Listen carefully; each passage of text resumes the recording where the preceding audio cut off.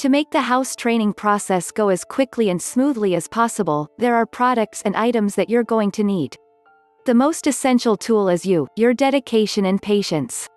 However, the many house training products, supplies and equipment that the pet industry has developed over the years can truly make the task easier and certainly a lot cleaner. Before we move on with this video, you need to grab the free dog training secrets guide in which I have disclosed the deepest dog training secrets that professional dog trainers don't want you to know about. These training secrets would help you have a well-behaved, super intelligent, smart and obedient dog without spending hours in training him, her. Link to the free secret training technique guide is in the description below. Exclamation mark.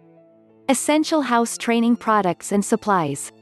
This is a reasonably complete list of items you need to house train your puppy or dog as smoothly and cleanly as possible. Leash and collar. When you take your puppy to their chosen bathroom spot, the last thing you want is for them to wander off and get distracted, forgetting what they're there for. You want them to keep their mind on the job at hand. With a leash and collar you can snap it on to take them to potty at their scheduled times and by restricting their freedom of movement it cuts down on their ability to go in the wrong place.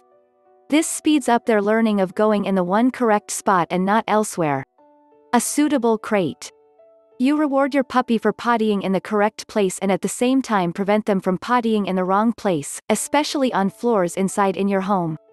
When you supervise your puppy, you concentrate on their behavior and when they do their little pre-potty routine you're there to see it and can scoop them up and take them to their bathroom spot before they eliminate. When you cannot supervise your puppy, you can confine them to a crate to take advantage of their natural instincts to not soil in their den. By crating them you remove their ability to sneak away and toilet where they shouldn't. But just as importantly, because they will try their hardest to never soil in their crate you help them to build their bladder and bowel control. A puppy play pen and pet barriers. An essential aspect to effective house training of your puppy is to prevent them from toileting in places where they shouldn't. The best way to do this is to initially restrict their living space to just a small area and gradually expand that space over time when they can be trusted. Also, a spot they've used before they will likely want to use again as they're attracted there by the smell. So you want to provide a small enclosed space which limits the number of spots your puppy could potentially use as a bathroom spot and train them not to eliminate in this small area while encouraging them to go where you've chosen. All this makes your training task easier and the smaller space is easier for you to keep clean in case of accidents too. A puppy playpen. A puppy playpen, or exercise pen is a strong and durable wire enclosure you can use to restrict and contain your puppy in a small and safe place. Its main use is for somewhere you can place your puppy for short periods when you can't keep your eye on them. The pen should be placed where the family spends most of their time so the puppy is still with everyone and feels a part of everything, not isolated and out of the way. It should be tall enough so that the puppy cannot climb out of it and it's a very good idea to lay a plastic tarpaulin sheet under the pen and cover the floor with paper so any accidents are easily cleaned and it keeps your floor underneath spotless. Pet barriers. You use a pet barrier to confine your puppy or dog to one particular room only, or to restrict access from a particular room.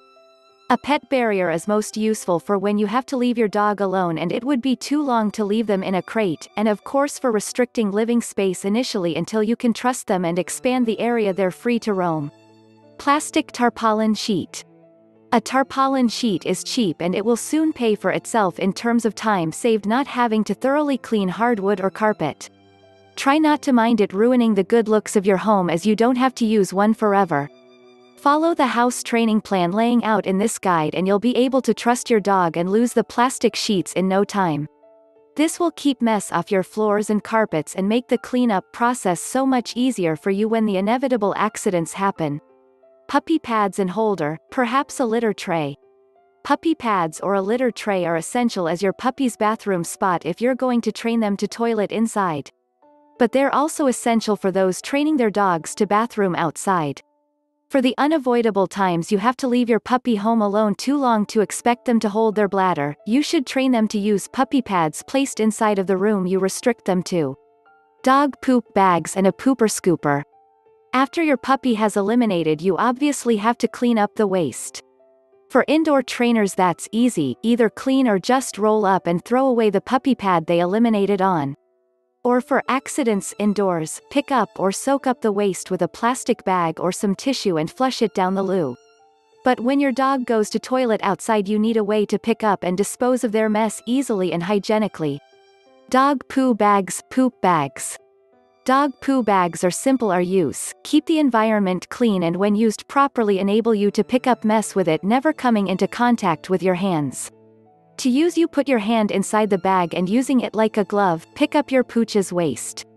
You then take the top of the bag and still gripping the bottom and the waste, turn the bag inside out by sliding it down and over your hand until the poop is now inside and your hand on the outside. You can now tie it closed and dispose of it with everything now safely inside and you haven't had any of it come into contact with your hands, they are still nice and clean. Pooper Scoopers Pooper scoopers are for most people not the sort of thing you want to take out on a walk. Poop bags will suffice. But if your dog has a toilet spot in the backyard, a pooper scooper is a very useful tool to save you lots of bending over and means you don't have to handle the poop at all even if you only do so through a plastic bag, it's still a nice thing to avoid. You can keep your pooper scooper in a hidden corner of your yard, ready for use as and when necessary. They will look a little grim after some use, but keep them hidden away and give them a regular hosing down and they really aren't too bad and I find them really useful. Also, for those occasional times your dog's poop is softer or runny, the one-handed contraptions aren't very effective and you will need a shovel and scoop for these times anyway. House training treats, food rewards for doing it right. The most important part of house training in a positive way is to reward your puppy lavishly when they do something right. This means rewarding them when they toilet in the right spot, be that outside or at an indoor spot you've chosen for them. If a puppy gets lavishly rewarded when they do something, they will try to perform that behavior more, trying to earn that same praise. This is the cornerstone of most modern, positive, reward-based training techniques. So you want to use a high-quality, low-calorie, low-fat and low-carb treat that your puppy will love and only offer a single and very small piece. Beef jerky or dried liver is absolutely perfect as a high-value reward. Be warned too that you should not give a treat every time. Mix it up with lavish praise, or a game of tug, or a nice walk or other form of play for a reward most of the time, and just a high-value food treat every now and then. Cleaning products. The cleanup process and particularly for accidents in your home, you need to use an effective cleaner and thoroughly get rid of any odors. You don't want to use just any old standard cleaner as they can leave some of the original smell. Or worse, they may contain ammonia that smells like urine and the cleaner itself will attract a puppy to the spot to use as a toilet. You need to buy a special cleaner aimed at pet owners and for the special purpose of eliminating odors completely. What you're looking for in a cleaner is enzymatic cleaners that contain enzymes to break down the proteins a dog can smell. Odor eliminating, to completely eradicate the smell. There's no use trying to mask the smell like many cleaners, you need to eliminate it. Ammonia and bleach-free cleaner, as ammonia-containing bleaches share similar odors to urine, the cleaning solution can attract a puppy to a spot to toilet. Do you want to have a well-behaved, obedient and calm pet dog without spending hours in training him? Check out the first link in the description and download the Secret Training Technique Guide absolutely free. It is available for free only for a limited period of time. Thanks for watching the video. Comment below if you liked the video. Please subscribe to the Little Paws Training channel if you are serious about training and grooming your dog. Also, join our Facebook group where you get all the solutions to your daily doggy problems.